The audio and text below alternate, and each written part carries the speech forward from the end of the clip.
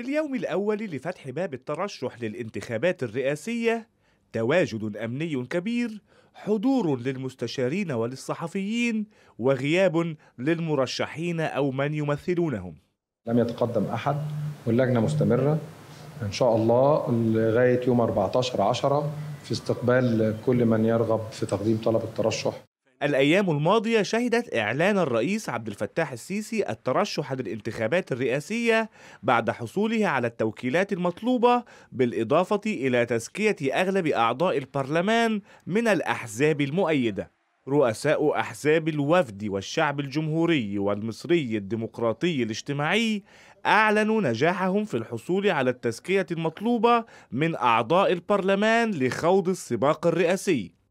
فيما تستمر محاولات النائب البرلماني السابق أحمد طنطاوي ورئيسة حزب الدستور جميلة إسماعيل للحصول على التوكيلات من المواطنين.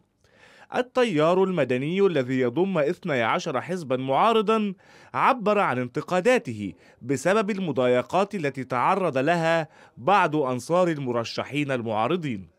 قابل كل الوعود اللي إحنا سمعناها عن إن هو هيكون في انتخابات حرة ونزيهة ومتكافئة اللي بيحدث على الأرض هو ما يشبه من يعني محاولة مسبقة لجعل عملية إصدار التوكيلات مستحيلة. طبعا الأستاذ أحمد طنطاوي يعني أعتقد حملته أوردت الكثير من الفيديوهات الخاصة بتلك الانتهاكات.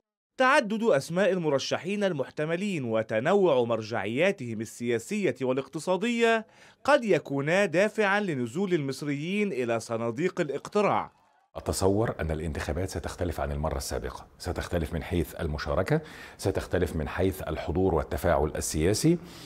أيضا أتصور أن سيكون هناك انفتاح الشارع المصري بدا مهتما بتطورات المشهد الرئاسي ومفضلا انتظار الكشوف النهائيه للمرشحين والتعرف على برامجهم لا سيما فيما يتعلق بالأزمة الاقتصادية.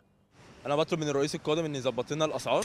الاسعار الجاية والغلا والحاجة ويظبط لنا الاقتصاد بتاع مصر. ايا كان هو إيه الرئيس القادم من القوى المدنية أو الرئيس الحالي اللي هيكمل معانا الملف الاقتصادي؟ وحتى يوم الرابع عشر من شهر أكتوبر الجاري ستبقى الأنظار متجهة إلى هذه القاعة للتعرف على هوية المرشحين المحتملين لرئاسة مصر.